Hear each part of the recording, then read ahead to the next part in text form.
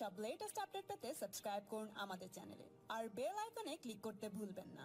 সুতো নিজের হাতেই ছিঁড়ে দিলেন তিনি, আর সেটাও দীর্ঘ টানা টানাপোড়েনের শেষে। এমনকি অরূপ রায়ের অসুস্থতার জেরে তার দল বদলের জল্পনা, যেখানে অনেকটাই থিতিয়ে গিয়েছিল, মনে করা হচ্ছিল তিনি হয়তো দলে থেকে যাবেন।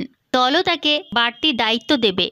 ঠিক সেই সময়ে বিধায়ক পদ থেকে ইস্তফা দিয়ে তিনি কার্যত নতুন করে জল্পনা ছড়িয়ে দিলেন। তিনি রাজীব বন্দ্যোপাধ্যায়। এদিন রাজ্য বিধানসভা ভবনে এসে অধ্যক্ষ বিমান বন্দ্যোপাধ্যায়ের হাতে তার ইস্তফাপত্র তুলে দেন। সেই সঙ্গে আগামী দিনে তিনি গেরুয়া শিবিরে যে যোগ দিতে পারেন সেটাও ইঙ্গিতে বুঝিয়ে দিয়েছেন। আজ রাতেই দুদিনের জন্য বঙ্গ সফরে আসছেন কেন্দ্রীয় স্বরাষ্ট্রমন্ত্রী অমিত শাহ। আর ঠিক তার আগেই এই দিনটিকে রাজীব বেছে নিলেন তার ইস্তফা দেওয়ার জন্য। শুক্রবার দুপুর বারোটার কিছু পরে রাজ্য বিধানসভা ভবনে যান রাজ্যের প্রাক্তন বনমন্ত্রী। সেখানেই বিধানসভার অধ্যক্ষ বিমান বন্দ্যোপাধ্যায়ের ঘরে গিয়ে তার কাছে ইস্তফাপত্র জমা দেন তিনি। সূত্রে জানা গিয়েছে, বিমানবাবুর সামনে বসেই পদত্যাগপত্র লেখেন তিনি। তারপর তা তুলে দেন অধ্যক্ষের হাতে। সঙ্গে এটাও জানা গিয়েছে, রাজীবের এই ইস্তফাপত্র এখনও গৃহীত হয়নি। রাজীবের ইস্তফাপত্র খুঁটিয়ে পড়ার পর অধ্যক্ষের কোনো প্রশ্ন থাকলে রাজীবকে ফের তিনি ডেকে পাঠাতে পারেন। তার জিজ্ঞাসা তিনি রাজীবকে প্রশ্নও করতে পারেন। প্রশ্নের যথাযথ উত্তর দিতে পারলে গৃহীত হবে তার পদত্যাগপত্র। এই বিষয়ে অধ্যক্ষের ঘর থেকে বেরিয়ে রাজীব নিজেই সাংবাদিকদের মুখোমুখি হয়ে জানান, পশ্চিমবঙ্গ বিধানসভার বিধায়ক পদ থেকে ইস্তফা দিয়েছি। অধ্যক্ষ মহাশয়ের হাতে ইস্তফাপত্র জমা দিয়েছি।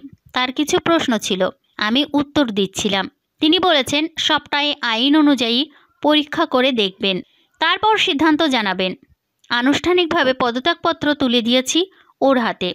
কৃতজ্ঞতা জানিয়েছি, কারণ দীর্ঘ দশ বছর ওর সহযোগিতা পেয়েছি। একই সঙ্গে বিধানসভার সহকর্মীদেরও ধন্যবাদ জানাই। একই সঙ্গে এদিন নিজের ফেসবুক পেজেও ইস্তফা দেওয়ার বিষয়টি লিখে জানিয়েছেন রাজীব। রাজীবের ঘনিষ্ঠ মহলের দাবি, শুভেন্দু অধিকারীর মতোই যাবতীয় পদ ছেড়েই গেরুয়া শিবিরে যোগ দেবেন রাজীব। রবিবার হাওড়ার তুমুরজলায় কেন্দ্রীয় স্বরাষ্ট্রমন্ত্রী অমিত শাহের সভায় সরকারিভাবে বিজেপিতে যোগ দিতে পারেন তিনি। ইতিমধ্যে তৃণমূলের সদস্য পদও ছেড়েছেন তিনি। তবে এদিন বিধানসভা থেকে বেরিয়ে আসার সময়ও রাজীবের হাতে মমতা বন্দ্যোপাধ্যায়ের ছবি ছিল। মন্ত্রিত্ব ও বিধায়ক পদ থেকে ইস্তফা দিয়েও কেন তার হাতে বাংলার অগ্নিকন্যার ছবি? সে বিষয়ে তাকে জিজ্ঞাসা করতে রাজীব জানান, দলনেত্রী আমার কাছে মায়ের মতো। আগেও মাথার পিছনে ওর ছবি থাকতো, আগামী দিনেও ছবি কাছে রাখব।